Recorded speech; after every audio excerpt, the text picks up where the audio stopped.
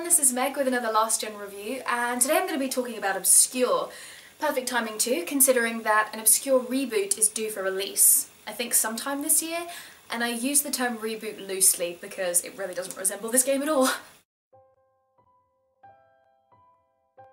Obscure is influenced heavily by Robert Rodriguez's 1998 horror comedy The Faculty, and it shows. Not so much in a satiric humour kind of way, but in an archetypal 90s American high school kind of way, complete with grunge. Lots and lots of grunge. The story is practically mediocre in every way. Think Mary Poppins, only the opposite. There are no real memorable moments in the story or script, no witty humour or exemplary character development to speak of, the writing does nail one thing, however, and that's the simplistic, slang-riddled speech, very typical of the teen disease, though I'm not sure how much of that is down to poor writing and or poor voice acting. Hey, Josh, get out of our way. But I've got to finish up my story on the basketball team for the paper. Yo, dog, Kenny, chill out, man. Leave him alone. Come on, let's hit the showers. One thing that I will say about the story is that it successfully creates an air of mystery through evidence scattered throughout the school, I would go so far as to say that discovering old teaching files and rifling through the faculty offices really felt like a naughty kind of treat, and one that brought the story to life in ways that the writing, cutscenes, and dialogues did not. This mystery doesn't quite carry the story, but it acts as a nice diversion, I think. Though the tagline is, in school they never teach you the things you wanted to know about. My favourite theme in this game is that you don't know your teachers. Or would you really want to? As a teen, it rarely crosses your mind that teachers have a life outside of the school, but they do, and one has to wonder what they get up to. I'm not saying every principal is a homicidal scientist, but presenting teachers as people with pasts, flaws and shortcomings never fails to offer an interesting perspective. All in all, the story of Obscure is pulp, like most teen horror, so it won't be winning any points in the popularity or originality contests, but it's intriguing enough to keep you engaged. Gameplay features a heavy rain-esque device. Characters can die, but the story moves on regardless, with the player instead taking on the remaining characters to finish the game. This was original at the time, but vastly underutilised here. It adds little to no pressure considering the characters aren't at all precious to you, and if you saved regularly enough, you could just go back, try again without losing anybody. However, there is a quirky sort of tag team mechanic.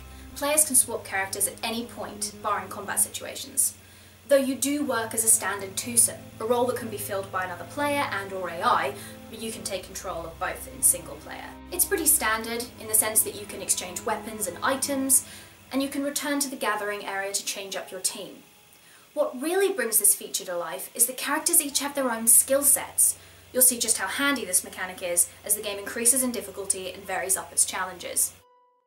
Unfortunately, this means you'll be spending a lot of time fussing around with your items and changing up your team, and this would be okay if accessing items and combining pickups wasn't such a long-winded affair. Selecting your item, combining it, then selecting it again before selecting to use is a pain in the keister, but this is a kind of common feature of last gen survival horrors, and things are made a little easier by a give all option in the item menu and gathering, as I said before, via the map it cuts down on a lot of time spent. My one big gripe with this presto changeo mechanic is that when your duo dies, and the player is placed in the shoes of the next character in line, all previously owned items completely vanish. You can gain these back by way of looting, but this isn't always immediately possible as I found out in the final boss battle, and the game doesn't always accommodate stealthy play. Now onto combat. Gun-based combat is surprisingly smooth, Characters auto-aim and seldom miss, which makes for a nice surprise considering the genre.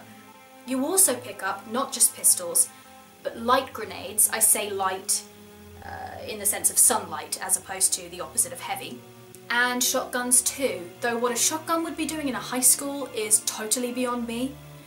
The same can't really be said for standard weapons such as the baseball bat. I avoided using it for the simple reason that hitting enemies was a 50-50 clunky affair.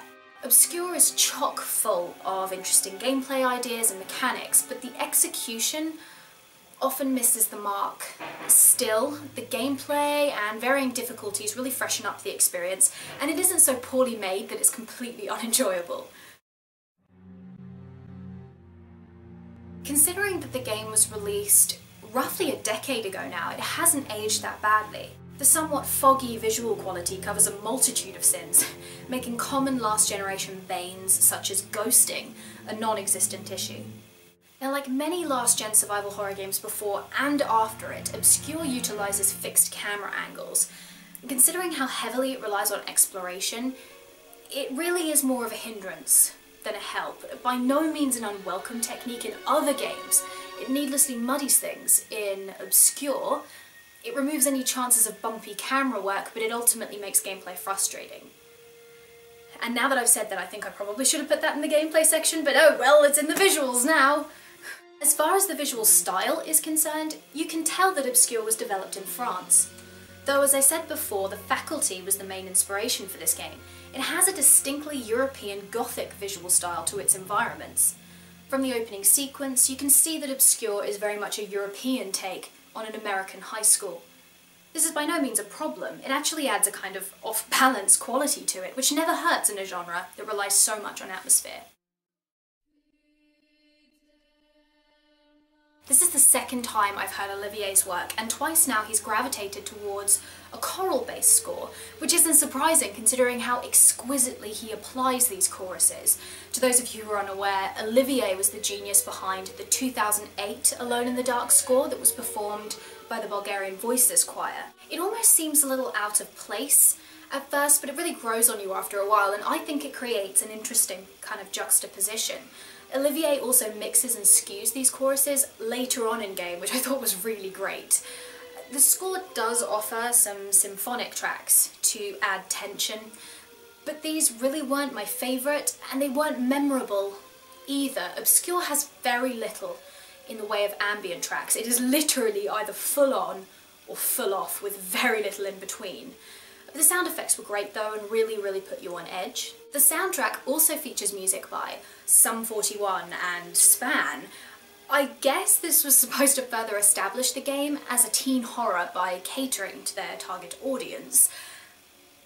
And though the songs they chose were really great, I have nothing against Sum 41 or Span, I'm still not quite understanding why it's such a big deal. If you look up anything to do with Obscure, you will most likely see their names mentioned. I don't know, I'm not really getting that. Obscure is a surprisingly short game lasting around 5 to 6 hours. I'll let you decide if that's a good or a bad thing. Having played both single player and two player co-op, I have to say I like both equally and I say this because neither mode really brings too much extra to the overall experience and bizarrely suffer most of the same problems. If anything, the two-player co-op actually causes more issues, and I think it would have really benefited greatly from a split-screen feature. I like that the game offers a handful of extras such as featurettes and music videos upon completion. Finish the game on different modes and you can unlock even more bonuses. All in all, Obscure is quite fun. Okay, the story's a little bland, the gameplay just falls short, never really taking full advantage of its very unique mechanics, and despite all the exploration involved, the game only lasts for a few hours. But it doesn't really suffer too much from these negatives, because Obscure is very quirky and it never takes itself too seriously, because of this, you just can't help but be a little bit charmed by it. I guess the game really does do what it says on the tin, or box, as in this case, obscure really is the most apropos word to describe it.